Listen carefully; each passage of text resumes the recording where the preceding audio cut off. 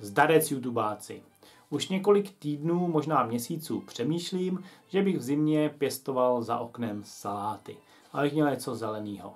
Jednak pro sebe, jednak pro morčata. Ehm, nevýhoda ovšem, která mě napadla při v zimním období pěstovat něco v bytě a často to zalejvat je pak podotýkat se s zvýšenou vlhkostí. To v zimě úplně nepotřebuju, abych měl větší vlhkost baráku a sráželi se mi to potom, potom někde na chladnějších místech. A tak jsem přemýšlel, jak by to šlo udělat. A když jsem googlil možnosti, tak jsem narazil na eh, hydroponickou metodu by krátky. Nevím, v angličtině je to hydroponics by krátky nebo hydroponic method by krátky. A nevím, jestli to překládá jako metoda podle krátkýho, jestli to byl nějaký chlap, který, který nějaký krátký nebo kratky, který to vymyslel, ale v podstatě to je jedno, protože jde o to, že vlastně se vezme eh, jedna nádoba, ve který, ve který je hydroponický rostok, druhá nádoba, která slouží vlastně uh, pro tu rostlinku, aby jí prorostla a, a ty kořeny šly, šly do té do tý nádoby a brali si z ní uh, živiny. To je super, protože uh, tohleto mám vyzkoušeno, že z toho se tolik vody neodpařuje. Teď v teplém počasí, co třeba venku se snažím eh, rozmnožit ze šlahounu jahody, tak když dám prostě eh, do té misečky eh, nebo toho tácečku vodu, tak se prostě za den odpaří. Tady to mám pocit, že to tam vydrží uh, klidně několik týdnů. Ono jako mělo by to vydržet mělo by to vydržet po celou do, vegetační dobu, toho, toho salátu, ale, ale já to mám venku. A tímhle způsobem jsem se vlastně dostal k mýmu prvnímu experimentu s hydroponikou. Berte to opravdu jako experiment, předám jenom nějaké svoje první poznatky a zkušenosti. Samozřejmě jako se vším jsem k tomu nic neměl, takže jsem musel všechno, všechno doma nahradit a Eh, první věc, co, co mě oslovilo a co bylo dobrý, je, že vlastně to můžete tu metodu podle kratkyho nebo bajkratky udělat tak, že vezmete plastovou láhev, rozříznete ji a otočíte vrškem dovnitř. To víčko samozřejmě musíte, musíte provrtat, aby tím prorostly uh, kořeny. Ale je to super, protože potřebujete plastový odpad, co máte doma a nemusíte nic kupovat.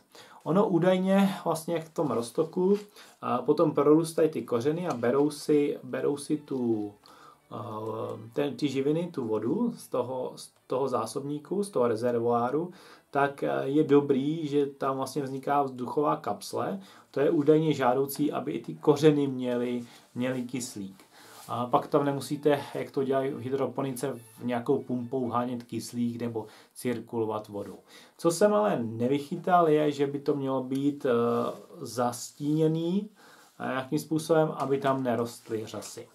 Takže to byla první věc. Spotřeboval jsem všechny plastové lahve, co jsem našel.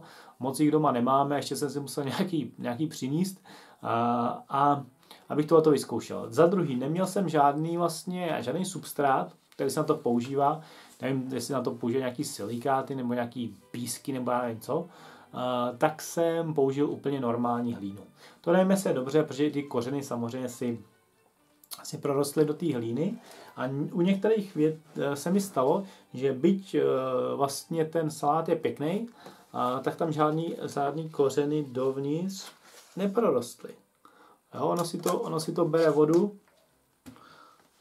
do toho substrátu, ale, ale neroste to dovnitř. Možná budu muset provrtat větší dírku. No a třetí věc k, tý, k tomu samotnému hydroponickému médiu, samozřejmě jsem nic neguboval, kouknul jsem, co jsem měl doma, googlil jsem, googlil jsem, až jsem něco vygooglil, našel jsem nějaký recept, kde se do jednoho galonu vody, což je 38 litrů zhruba, uh, použil jsem samozřejmě dešťovou vodu, abych taky do toho nemusel nic investovat, ještě zase tak, uh, jsem chámtivej, tak jsem tam použil 2 eh, gramy MPKčka, eh, pak myslím, že v tom návodu bylo 2 gramy eh, dusičnanu vápenatýho ale mám za to, že jsem neměl ten dusičnan vápenatý, ledek vápenatý, tak jsem vzal další látku, která obsahuje, obsahuje vápník a to je síran vápenatý, známý jako sádra. Takže jsem použil do toho, do toho sádru, aby to mělo vápník, nevím proč. Ale další látka byla, další látka na vodu byl 1 gram epsonský soli, což je tý síran hořečnatý. Takže jsem si řekl, pokud jsou tam sírany, tak sírany asi nevadějí. Uh, tak podle téhle logiky jsem použil sádru. A hle, ono to roste, ty saláty zase tak vybíravý nejsou. Já možná zkusím, teď co to mám venku, tak tam zkusím přidat ještě uh, zředěný slepičince, jestli by to, jestli by to pomohlo, snad to, snad to nespálej, protože to je poměrně dost dusíku uh, v tom. Nicméně uh, při tom pokusu, tady vlastně můžete zástupce vidět tady, při tom pokusu jsem to rozdělil do čtyřech skupin. A jedna, které, jednu, kterou jsem dal ven a který se daří dobře. Říkám, ta úspěšnost s těma kořenama je, ta je tak 50 na 50, možná, možná větší díry provrtat. A pak jsem použil kontrolní skupinu, kdy mám ty saláty pouze v kelímkách. Těm se taky daří dobře byť nejsou tak velký jako, jako v té v hydroponice. To si vysvětluju tím, uh, že, že jsou vlastně přihnojení tím médiem. No ale pak mám, uh, pak mám saláty, které mám tady za oknem, za špinavým oknem ve sklepě, a který nepropouští uh, moc světla, nebo respektive pro mě propouští světla dost. Je otázka, jestli pro ty saláty. Mám tam jednak uh, taky v, tý, v tom hydroponickém systému a v úvozovkách hydroponickým a mám tam i v květináčích jako kontrolní skupinu a u těch salátů se mi zdá, že ty listy jsou světlí, jsou takový měkký, prostě nelíbí se mi to.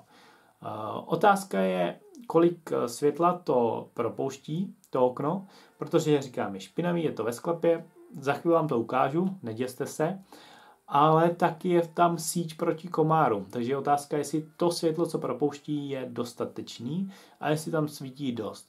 To mě všem rozhazuje moji, moji mm, ambici pěstovat to v zimě za oknem, protože mm, ani v zimě toho světla není dost. Teď já to točím je 19. června, což je před, před vlastně slunovratem, takže teď jsou nejdelší dny.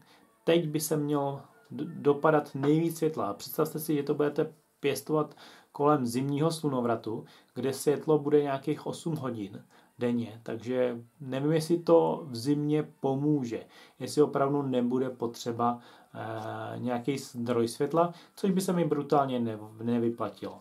Ale říkám, ta metoda je dobrá, protože to vlastně e, nemusíte tak často zalévat. Za druhý, dáte si to někam, kde máte místo, třeba já se potýkám eh, s místem na zahradě. To možná někdy, eh, někdy v budoucnu vysvětlím. A mm, nelezou na to slimáci. Když to mám na parapetu, svítí na to celý den slunce, nemusím to zalivat. Eh, nevýhoda je, že to nezalije dešť, pokud je to na tom parapetu, pokud by to bylo na nějakým vyvlíšeným stolečku, tak asi dobrý, nebo někde na nějakým převislým držáku tak by to dešť zalil, ale nelezou na to slimáci. Jo, na saláty, který mám nasazený na záhoně, tam to je prostě porodnice slimáků. Tady na to slimáci nelezou. Teď teda ukážu ty mrzáčky za tím oknem. Tak to jsou oni. Přijde mi, že prostě ty listy jsou takový povadlejší, měkký, že to jde do květu. Tady ten třeba kořeny má, takže tady by to neměl být problém. U těch, tenhle má, tenhle má taky kořen, ten tam vidím. Eh, ještě bych chtěl dodat, eh, že podobně eh, jako ty chcípáčci za oknem vypadaly i tyhle ty saláty, když jsem, je, když jsem je dával všechny za okno, pak jsem je rozdělil do těch dvou skupin. Takže to byly stejný chcípáčci a uh, potvrdilo se mi, že to slunce opravdu ty rostliny potřebují, jak jsem je dal ven, tak prostě začaly sílit uh, a začaly prospívat. Takže tady vidím ke, ve svý snaze dost velký nebezpečí, že to prostě v zimě nevíde.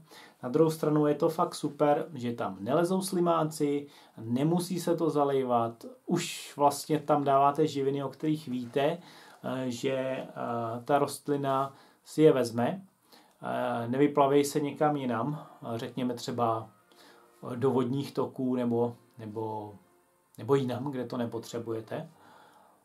Takže za mě tenhle ten systém, který navíc ještě spotřebovává uh, plastový odpad, který, který ho produkujeme hodně, uh, je super.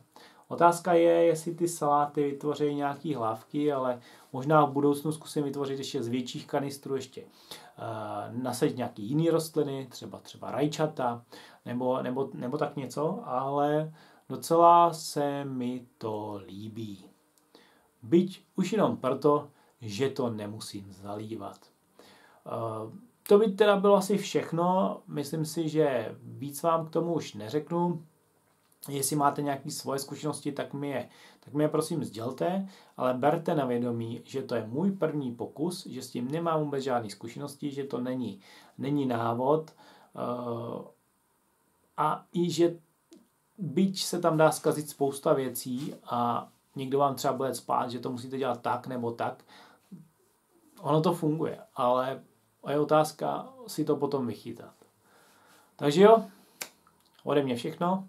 Mějte se super.